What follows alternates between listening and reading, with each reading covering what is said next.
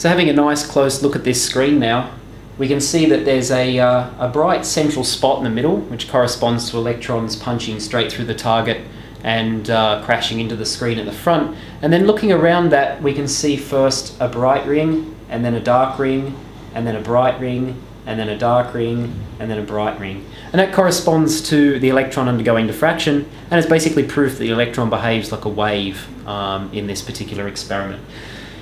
The nice thing we can do is we can show what happens when the uh, electron starts to behave like a particle again. And the way we can do that is by making the electrons travel quite slowly. Their wavelength becomes much longer than the plane spacing in the graphite, and effectively they become like particles again. So let's do that. We can turn the voltage back down. The electrons start going slower, and you go back to having electrons behaving like particles. You've still got this bright central spot, and there's a little bit of fuzzy green around it, which is just the electrons being scattered like particles as they come out of uh, the graphite, but this ring structure goes away. And the interesting thing you can do with this experiment is by tuning the voltage, you'll notice as I make the voltage higher and make the electrons go faster and the wavelength gets smaller, the rings get closer together, okay? And you can use this in one of two ways if you know what the velocity of the electron is, um, that'll allow you to work out what the wavelength is, and you can then use that to tell you what the spacing between the planes and graphite is, if you happen to not know that.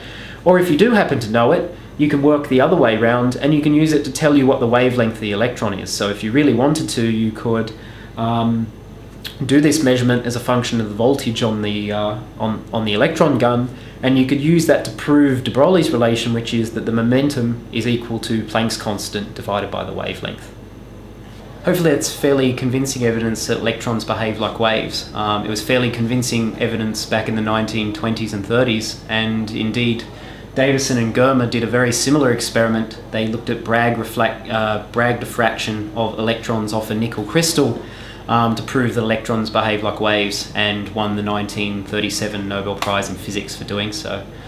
It's um, not the kind of experiment that you can terribly easily do at home. Most of you won't have the kind of equipment that you need to do this, but it's by no means um, extraordinarily high tech, nothing like the equipment that we use to do uh, research physics these days. But uh, fairly neat demonstration and one that works fairly easily.